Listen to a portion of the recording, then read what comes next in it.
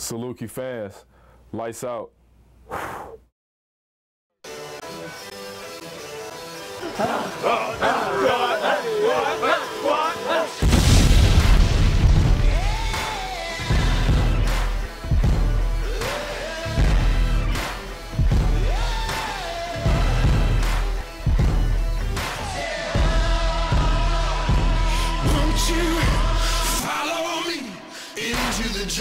Here's Beane in the front court going for a career best, and he rocks it with the right hand.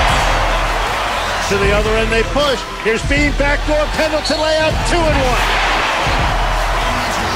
Against zone, it's Beane, top of the circle. Gives it up to Smith Peters. He pops up a three for the lead. Yes! Nine seconds left.